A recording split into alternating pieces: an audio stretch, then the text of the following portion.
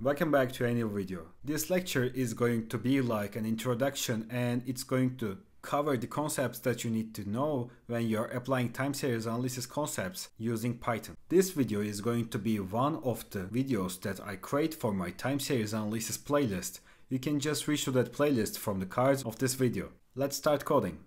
For the entire time series course, I'm going to create a dataset with code for it to be simple on lectures I will start by showing you the data creation code and its logic in this video.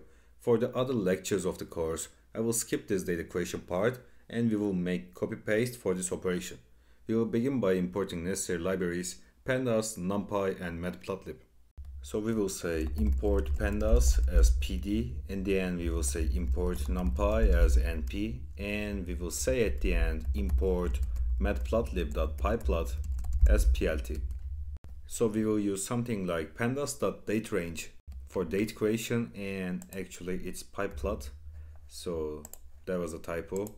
And we are going to use something like date range from pandas and we are going to create range from January 1, 2022 to January 1, 2023 with a daily frequency.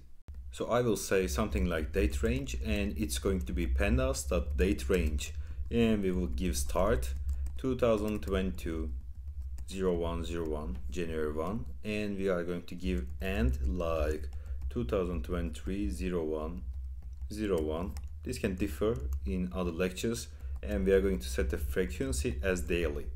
So when we call this date range you are going to see that we have the days between 2021 2022 0101 and 2023 0101 we have the length of 366 one year plus one day this new year's first day and great we have daily data right now.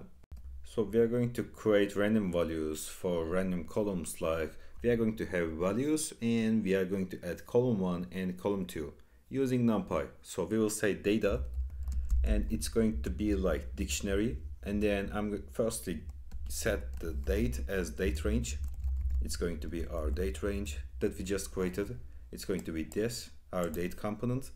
And then for the values I'm going to say something like I don't want this to be completely random so I'm going to use different techniques to make it linear and a little bit more realistic so I will just talk about them.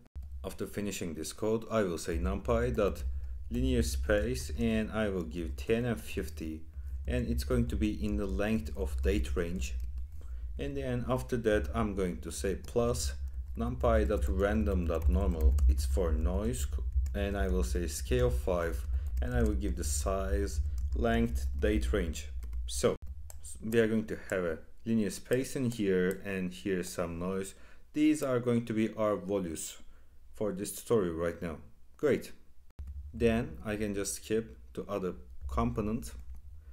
I will say column 1 and it's going to be like numpy dot random dot let's say random integer we will give values between 1 and 100 and I'm going to set the size as length of the date range. Great, so after that what we are going to do is we are going to create something as column 2 and it's going to be like actually there's a little bit problem. Let me quickly fix that. This needs to be before the length function in here. Great so after that, what I'm going to do is I'm going to say column 2 and let's say something like numpy.random.choice and we want it to make selection from A, B and C. So this is going to be our data. At the last step we are going to set something like size and it's going to be again length of the date range. Also we need this instead of equal sign in here and we are ready to go. This is going to be our data creation code for the entire course. So I will just press enter in here and then I'm going to talk about this a little bit. Now in here we generate random values for the values column 1 and column 2 columns using numpy. We use numpy.linear space to generate linearly increasing values from 10 to 50, adding some random noise using numpy.random.normal with a standard deviation of 5 it's in here. So our data is going to be more realistic.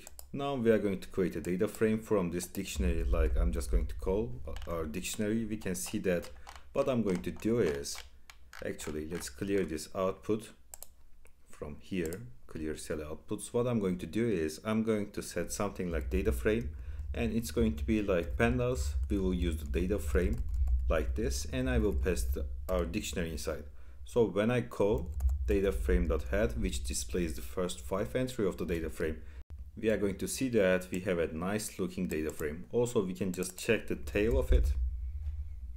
Or we can just get information about it like this. We can get the summary statistics for that using this. And we can say that shape. For getting the shape of this. Great so this was our date range count and this is the column count so when I call data frame.describe we are going to see some summary statistics from here great so it's going to be our data for now now that we have our time series dataset, we can dive into exploring the basics of time series analysis using matplotlib and pandas. We use matplotlib.pyplot to create a time series plot. So what I'm going to do is I'm going to set something like matplotlib.plot and I will say data frame date. And I will say something like data frame values. And let's set a label like values. And we can add line style like this. And we can add a marker like this. I'm going to try to show you the customization options we have. We have a lot more. You can check the matplotlib documentation for the others. Let's set the color as this. And we can give it a title like this like time series plot. Okay we, we can give it a x label like date. We can give it a y label like values. And we can say plt.legend for adding a legend. And we can say plt.show so it's like this. Great. So let's talk a little bit about this. We have the dates in the x and we have the values at the y and we can see at the top left side we have the values legend. So if i just remove the legend in here we are going to see that this little box writing values is going to disappear. And if I add that we are going to have the legend.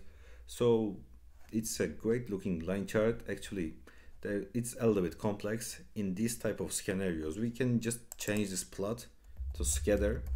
Can, and we can just have a scatter plot of this so I think it's going to be a better option you can prefer the one you want I will say plt.plot for now and as I need to talk about it again, the x-axis represents dates and the y-axis represents the values column from our dataset. Various plot customization options such as line style, marker, title, labels, and legend are applied. You can customize your plots as you can check my matplotlib video or matplotlib's documentation which takes place at their website for all options. I will also show you how you can use Seaborn for time series visualization at the end of this video, you can select the one you want. Seaborn is another great library for data visualization. Okay, let's talk about date functions. We use the DT accessor in pandas to extract year, month, and day components from the date column. So let's firstly call our data frame again for remembering it. So here now what I'm going to do is I am going to say data frame year and I'm going to say data frame date which means that I'm going to select this column in here date column and then what I'm going to do is I will say date time and I will use that year so after doing that if I just call the data frame again you are going to see that we have a column named year which takes these values from this data frame. So we can extract dates like this. What we can do else is we can just say data frame month and we can say data frame date dot date time month. So we can just call our data frame again. We can do the same for the day like this day data frame date date time day. And we can just say data frame again. And we are going to see that we have these components. Great, let's talk about how we can visualize time series data using Seaborn. we will import Seaborn as SNS like this. Import Seaborn as SNS and then I'm just going to say something like Seaborn dot line plot and I will say X is going to be date and Y is going to be values. Data is going to be our data frame. Label is going to be something like data and I'm going to say color is going to be this. So after that, we can just say title. We are going to give the title with matplotlib. I say data visualization and X label is going to be date. Y label is going to be values. Let's add legend again. And we will use plt.show at the end. So here we have, let me quickly show you the old one so you can remember. It was like this. Now it's looking like this. What else we can do is we can just call scatterplot2 in here. And in this scenario, we are going to see that it's going to be scatterplot. You can pick the one that you want. I will just say line plot again. And in Seaborn, you can set themes like I'm just going to say Seaborn.set. We are going to set a style like let's say white grid and after that you are going to see how this is going to change it's also a good option to visualize like this you can see different setups different things from my seaborn video or the seaborn documentation and i also want to add that i generally use seaborn for data visualization and we used seaborn.lineplot to visualize the data with dates on the x-axis and values on the y-axis Customizing the plot with a title, labels, and legend. You can select the one that you want from Matplotlib and Seaborn. I will use both of them on the course and I will try to show you different customization options in the other lectures. Thanks for watching the video. I'm sharing two or three new videos every week about data science and Python programming. You can subscribe to my channel for more videos like this. This was one of the lectures of time series analysis playlist you can watch the others for learning more. I'm going to add the playlist link in the cards of this video or in the description. See you in the next tutorial.